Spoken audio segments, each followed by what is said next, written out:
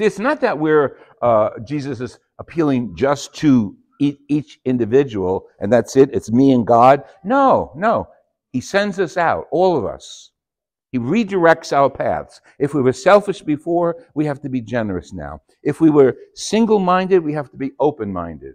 If we were angry people, we have to be people of joy. He reroutes us if we let him get in. If we let Jesus inside our hearts and minds. That's why we read the gospel every year, the same gospels, you might say, because we need to be reminded that Jesus is rerouting us because we're people. We're all born in the world. We're all people. And our society and our families and our politics structure us. Then comes Jesus and he reroutes us because the, the world does not favor Christ. You know that. There's no secret there. The world does not favor Christians. You know that. There's no secret there. The persecution in many countries throughout the world. Why? Because those Christians were following Jesus, not the politics of the nation, whatever nation we're talking about, whatever ghetto we're talking about, whatever village we're talking about. Jesus reroutes those people and he gives, gives us through one another the good news. That's what the apostles even call it the good news. The good news being that we're called to emulate Jesus. And, and if sometimes like we need information, we need a little background, and that background comes to us in the two readings that we have today, besides the gospel, in, in the first reading, the Acts of the Apostles. We don't just pull this stuff out of the sky. There's history here. And when the author of this section, attributed to Peter, talks about what happened, he explains what we call the kerygma. It's, it's the oldest part of the church's teaching. Kerygma, in a few sentences, Jesus sent by God, Jesus did good works, Jesus was killed, Jesus rose from the dead. That's the kerygma. That's it. That's what we believe. But it hasn't sunken in to many, many people, many, many lands. So what, is, what does Peter get up to do?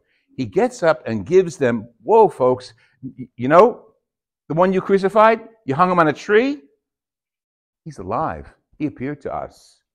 So what is he doing? Peter is rerouting their faith, rerouting and, and giving a direction to his own faith.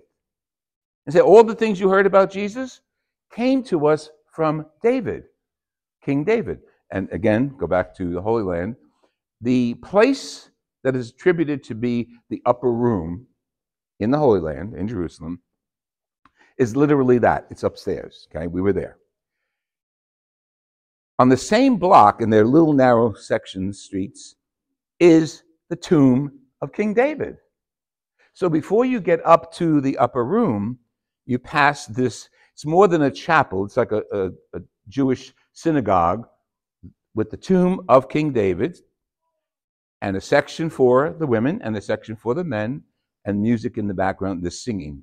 Prayers are going on all day long. Because this is the tomb of David, the ancestor of Jesus, David, who predicted Jesus, David, who was the great king. Okay, so that's very important. So when Peter gets up and says, his grave is still with us, they know what they mean, and we know what he means. That David was a great prophet, and he talked about the day that God will return and someone from his ancestry will return. And he fulfilled.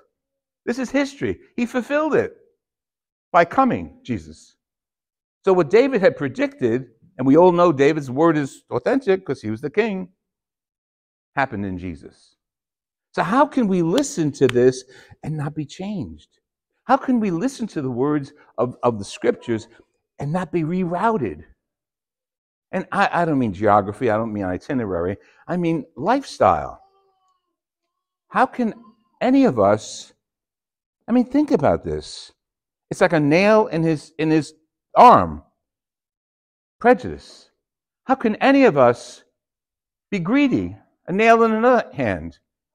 How can any of us hate stepping him aside? Remember growing up, we said, oh, Jesus died for our sins and all that. It's authentic, yes. But sometimes we need a, a graphic reminder that Jesus is with us right now. And when we are sinners, when we disgrace our faith and our Lord, we're stabbing him again. We're crowning him with thorns again. My grandmother used to tell me that on Good Friday.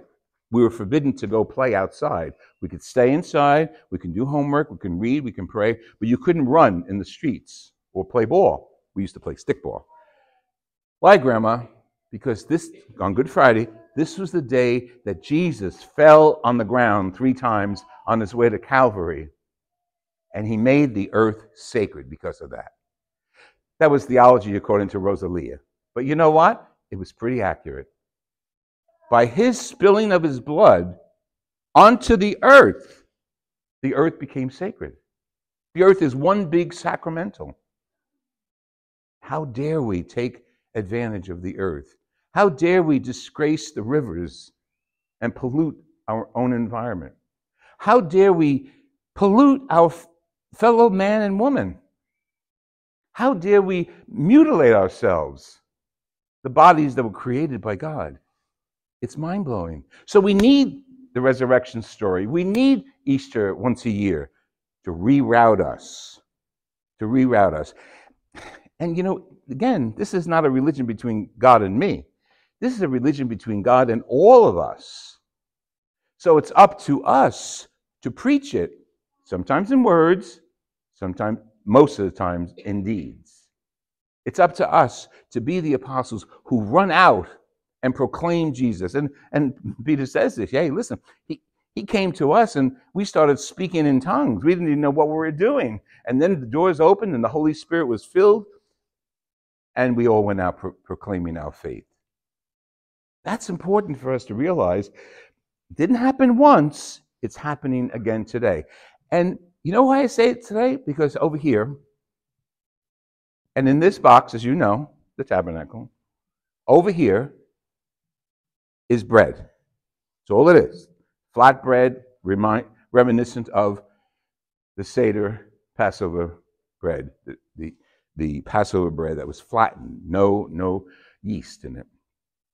In a few moments, this bread will be recognized by all of us as Christ. It was no accident that Cleopas and his companion went into the home they were staying at and invited Jesus, they didn't know who he was, to sit with them. It's no accident that the way those words were recorded are reminiscent of the Last Supper.